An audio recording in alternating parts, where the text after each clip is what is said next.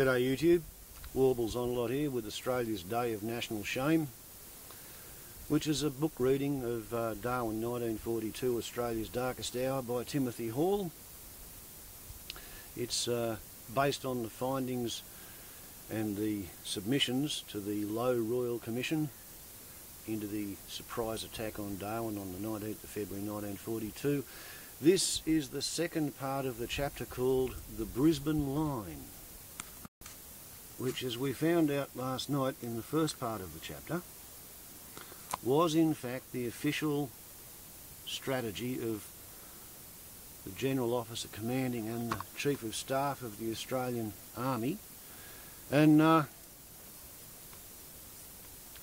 although in later years it's always been described as uh, a line running from just north of Brisbane to just north of Adelaide it's pretty clear by the War Office documents that from, uh, well, at least six months before the Japanese bombed Darwin, and certainly four months before Japanese bombed Darwin, when Prime Minister Curtin was running Australia, the theory was the vital Melbourne to Brisbane line.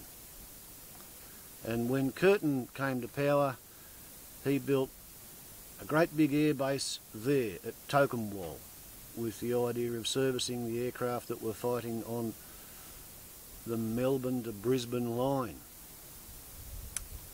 So, for the second half of the chapter, I thought I might show you something a little bit daring. Starting here, we have number 1, 2, 3, 4, 5, 6, 7, 8, 9, 10, 11, 12, 13, 14, 15, 16, 17, 18, 19, 20, 21, 22, 23, 24, 25, 26, 27, 28, 29, 30, 31, 32, 33, 34, 35, 36, 37, 38, 39, 40, 41, 42, 43, 44. Can anybody guess what these strange little shapes are. What if, what if I say that uh, if we go up a bit, we find that Darwin is in area 319.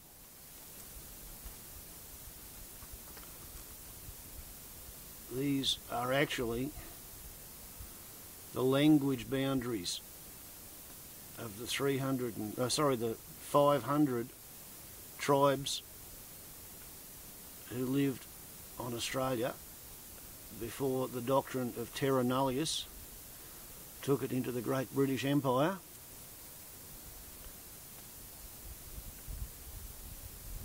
Last time Australia was actually invaded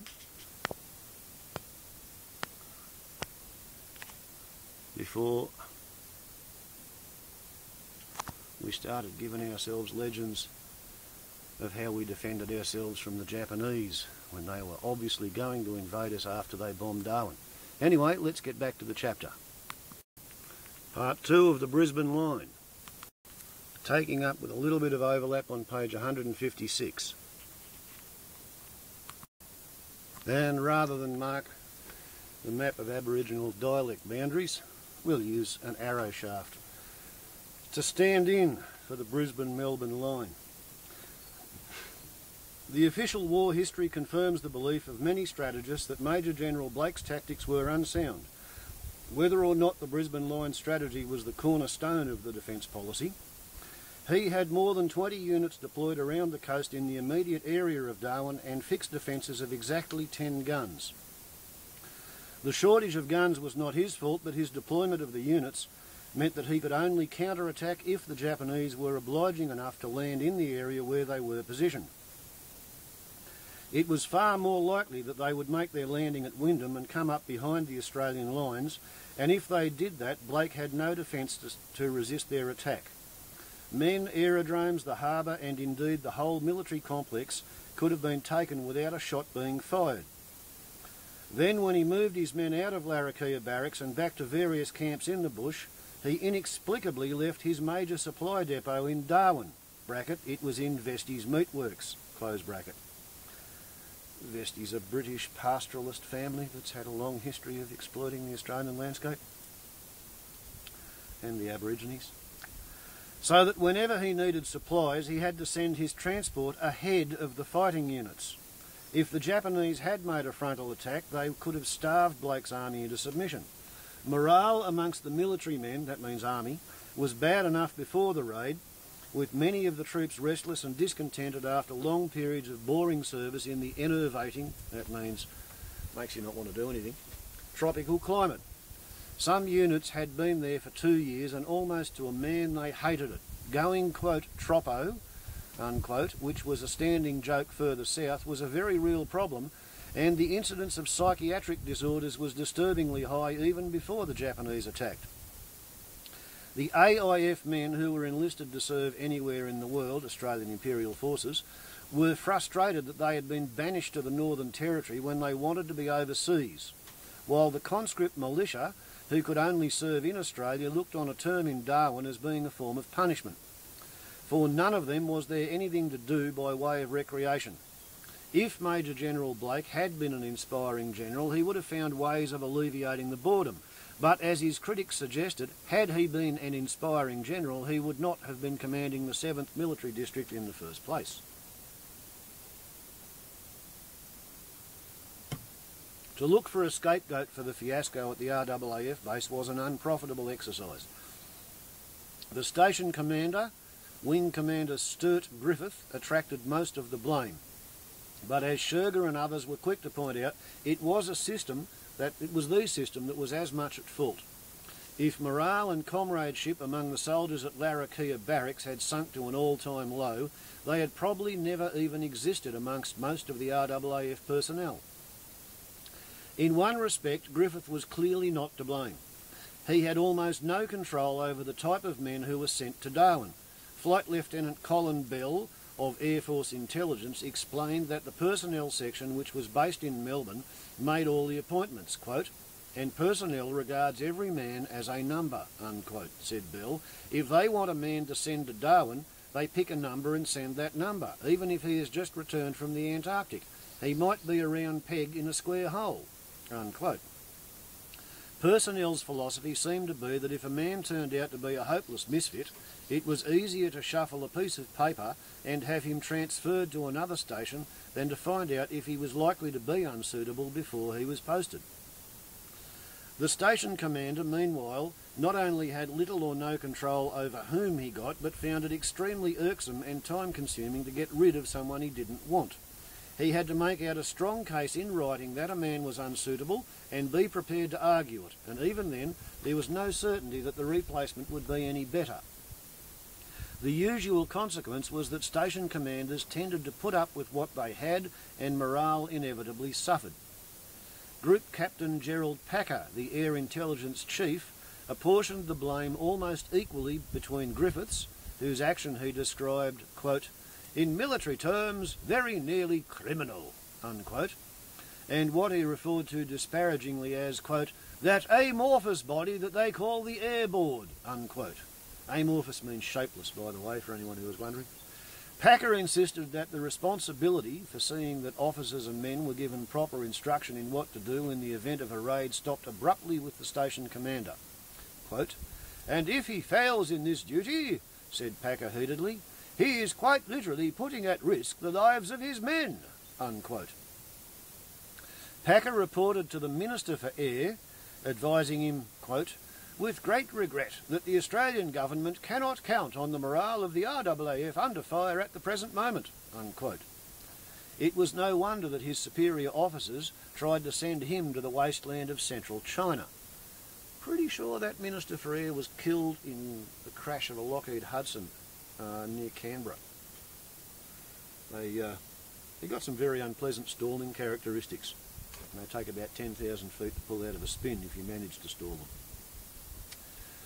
whole bunch of Australia's government and military brass were on it. Stall spin. Crash burn die. Uh, but there was good reason to question the reliability of the Australian Air Force. The ignominious flight at Darwin would have been worrying enough for the Air Board if it had been an isolated incident, but it was not. In Malaya, for example, at the aerodrome at Kuantan, an ambiguous order was given by the station commander, who happened to be an RAF officer, Royal Air Force, British, and the station was almost as rapidly abandoned by its RAF and RAAF stations as Darwin had been. And on that occasion, the Japanese were not even within hundreds of kilometres of them. There was a court martial and the Australians were exonerated, but the fact that they ran away was not disputed. During the heavy fighting at Rabaul, when the Japanese were launching an attack, some of the Australian RAAF officers and ground staff had not stood firm in the face of enemy fire and had to be physically threatened to prevent them running into the bush and panicking a very large number of other men. It was calculated that 10% of the men at Rabaul were, quote, unreliable and that they had directly affected another 15%. On more than one occasion, this resulted in a quarter of all the men bolting almost before the unit came under attack. Again, at Koepang in Timor, some of the officers and men, instead of proceeding to the slit trenches when Japanese aircraft appeared, bolted for the nearest cover. It was neck and neck whether the officers or the men got there first. The inevitable conclusion is that Packer was right when he said that when an attack was made on men who had not been trained and who did not have effective, experienced and courageous officers, they were likely to break down exactly as they did at Darwin.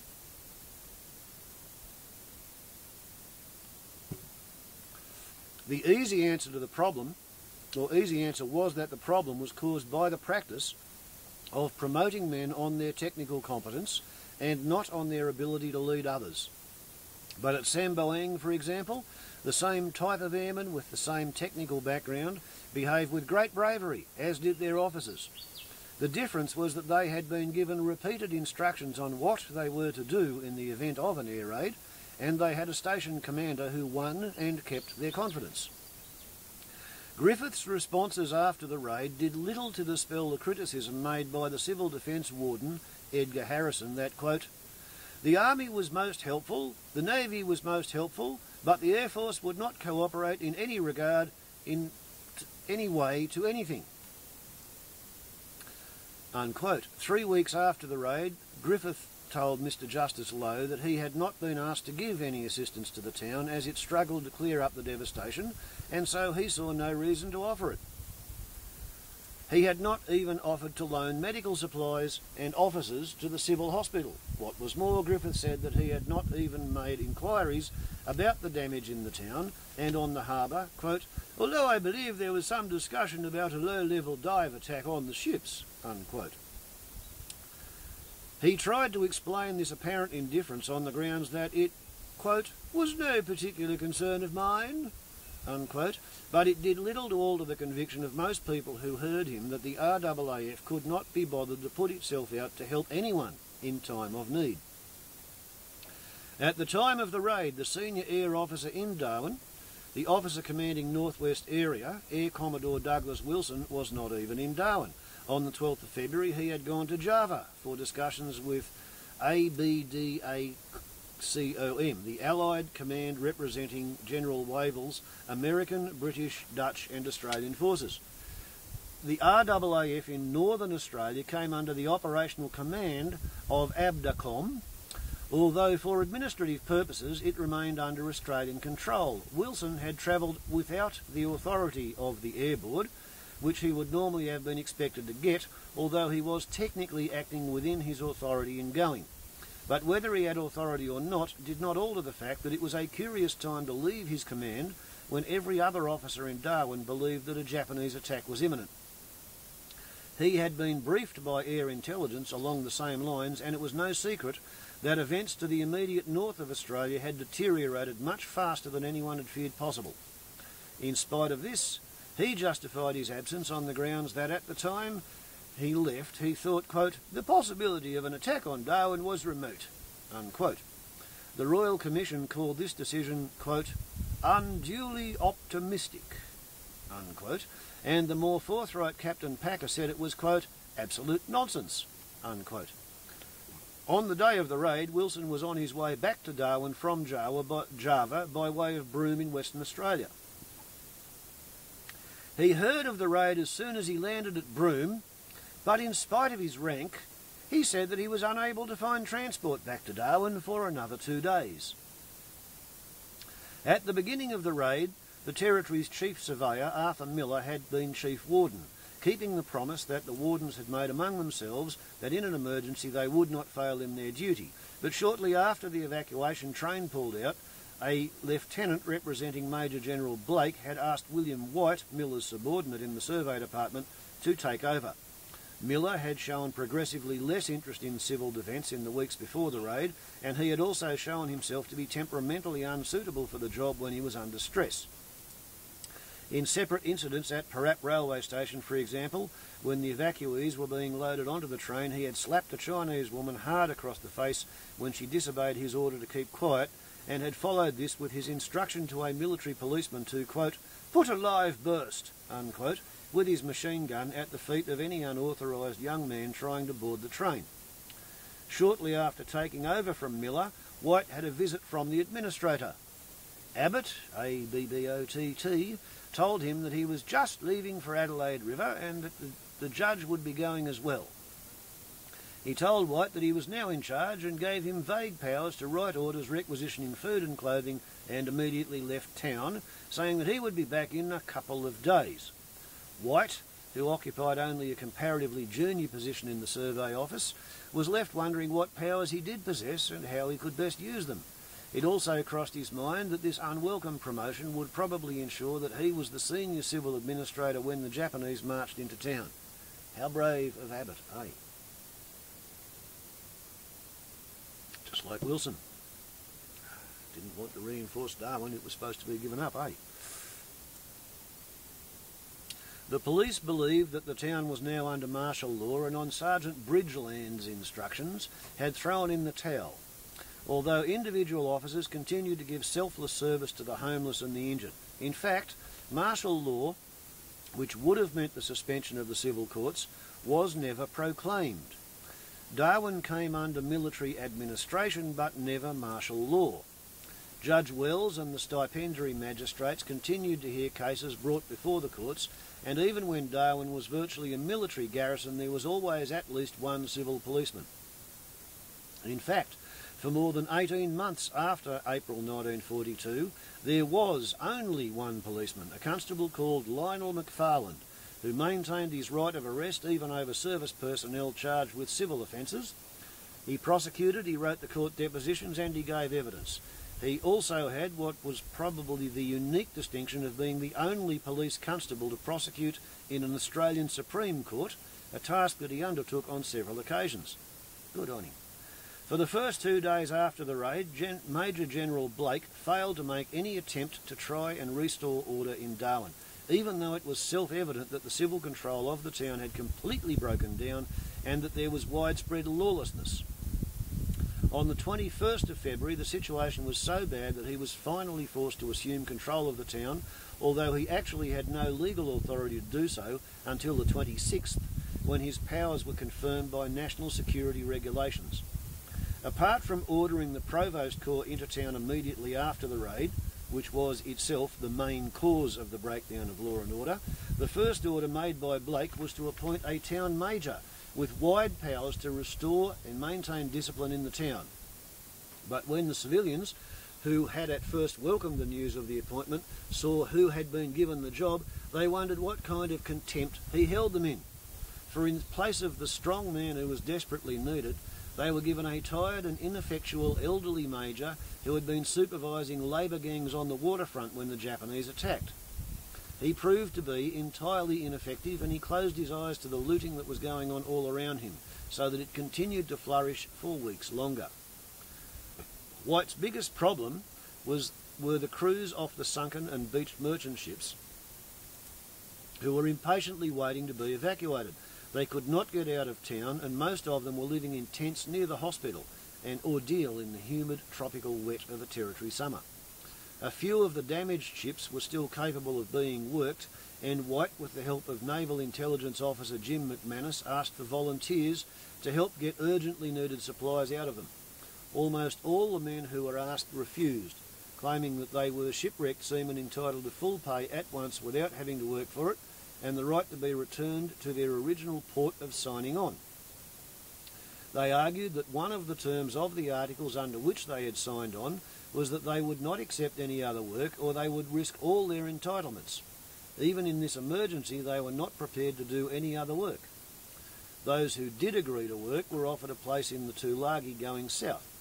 She had been part of the convoy that had turned back, but now she was beached and possibly damaged, and nobody wanted to risk her or the uncertain fate of encountering more Japanese dive bombers on the slow journey around the coast to Perth. Major General Blake announced that if they did not go on board the Tulagi voluntarily, they would be made to, but he did not elaborate on how he intended to do this. The permanent ARP officer, Edgar Harrison, was playing a key role in trying to prepare the town for the next attack and was encountering a numbing apathy that stemmed from the belief that nothing could be done to save them. To save them.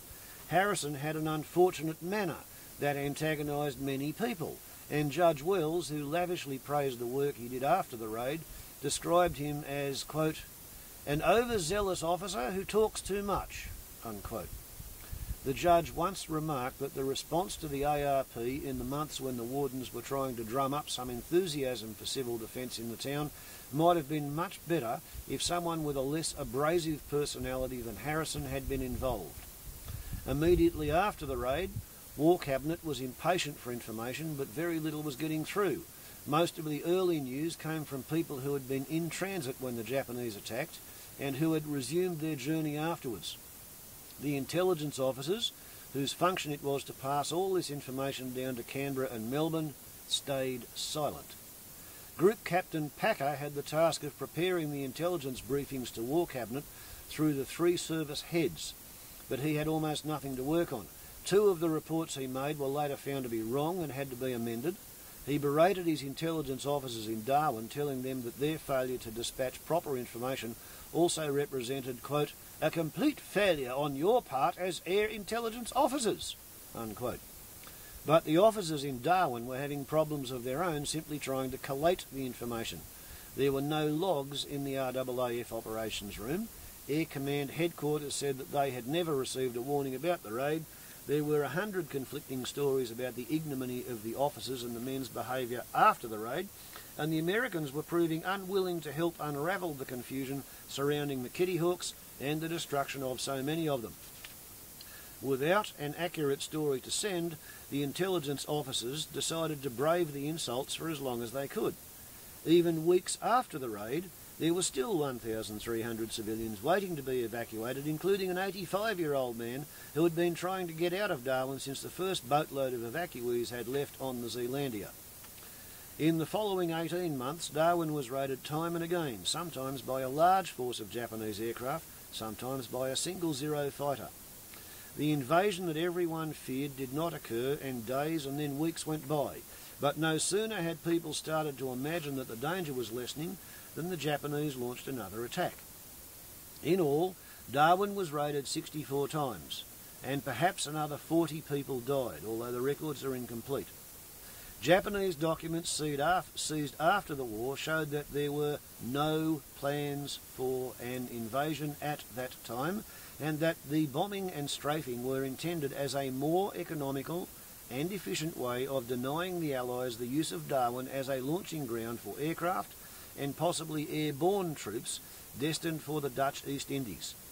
When the islands were all occupied and Australia had been isolated from America, they would invade in their own time and occupy Australia in a mopping up operation. Strangely, that's not actually what the Japanese war strategy was. It was to have a lightning war and negotiate a peace within six months when they had expanded their empire into a roughly rectangular shape. Running from the Aleutians down through Midway, they hope to get into Fiji, across uh, New Guinea to Timor, up across Indonesia. That was what they wanted, was a rectangular empire with secure borders and Japan at the centre of it. They didn't actually have any intention of invading Australia because they were going to sign a peace treaty from a position of strength. That didn't work out for them. The second raid did not come for two weeks, and there was an eerie sensation that the Japanese were in some way just watching for the moment to strike. When the attack came, it came without warning, as six Zeros suddenly roared across the RAAF aerodrome, almost at ground level, their machine guns blazing. Two men working on a telephone line were killed instantly, and four others died. A Hudson loaded with bombs exploded. On the 31st of March, the Japanese flew their first night raid against Darwin, sign they're seeing some opposition, coming in on a clear moonlit night. But on that night, the RAAF also received its first warning from the new radar team, which was operating around the clock to service all the bases. There was a 20 minute warning, and as a direct result, there were no fatalities and no serious injuries. With experience and practice, the anti aircraft gunners were achieving much higher strikes, and in one raid on the 4th of April, DCA, Department of Civil Aviation, radio operator Bruce Ackland was at his post on the civil aerodrome when seven bombers and their attendant fighters came over. Quote, the ack came good, he wrote in his diary, and set five of the seven bombers on fire. One blew up in the air, another badly ablaze. Saw Jap jump out of one, just a small black dot. Then his chute opened, and almost at once a burning piece of plane fell on it. He fell rapidly. Then the bombs began to whistle. They had jettisoned them over us and they were falling all about. Unquote. By mid-April, the first of the long-awaited fighters arrived, and for the first time the Japanese could be challenged in the air. It was not always an even battle, though, and inexperience often negated the value of having the aircraft. As late as the 2nd of May 1943, for example, nearly 15 months after the first raid, the Japanese made their 54th attack on Darwin using level bombers and Zero fighters. They dropped their bombs from about 8,500 feet or 25,000, 8,500 metres, 25,000 feet, causing only slight damage to the RAAF aerodrome, and 32 Spitfires were immediately scrambled to intercept them. In the fight that followed, three Zeros were destroyed and five more were recorded as probable kills, but in the process, no less than 14 Spitfires were shot down or forced to make emergency landings, and eight pilots were listed as missing. Speculation as to why the Australian losses were so high that day revolved largely around the assumption that the Japanese must have been flying ace army pilots, as they occasionally did, and that faulty maintenance had forced the other aircraft to make their unscheduled landings. But as a secret memorandum from the Department of Defence Coordination shortly afterwards reveals, bracket, the final paragraph cautions, quote, the Prime Minister's instruction is that complete blanket censorship should be imposed, unquote. Close bracket. At least five aircraft crashed because they ran out of fuel, Spitfires, Northern Australia, huge distances, tiny weeny little ranges designed for defence of point locations in the Great British Isles. Five aircraft crashed because they ran out of fuel, and the so called engine failures suffered by the others were not the result of faulty maintenance, but of incompetent flying by the pilots. They simply did not have the experience or the knowledge to handle the Spitfires under combat conditions. By mid April 1942, the Japanese had for the first time bombed and strafed the fuel tanks near Darwin Harbour as though conceding that their immediate plans no longer included a landing on Australian soil. As though, big supposition, perhaps the aircraft assigned to bomb the fuel tanks got sidetracked into something else happening on the day of the first raid. During the attack on the tanks, there was a huge flame and then an enormous cloud of dense smoke that rose thousands of metres into the sky as four million litres of oil exploded. Urged on by an impatient Royal Commissioner who hardly attempted to hide his anger at the lethargic speed at which the remaining civilians were being evacuated from Darwin, the Army finally completed its evacuation of all but essential personnel by the end of April. Darwin then became, became a military enclave. Oh, that's the end of part 19. Next chapter is The Royal Commission. Warbles on lot of YouTube. Ciao.